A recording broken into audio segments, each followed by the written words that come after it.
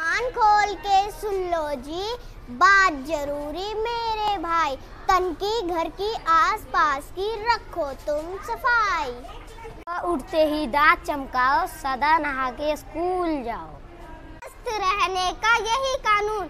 काट के रखो तुम नाखून। इधर उधर मत कचरा डालो मच्छर मक्खी को मत पालो। आस पास तुम पेड़ लगाओ, वातावरण को स्वच्छ बनाओ।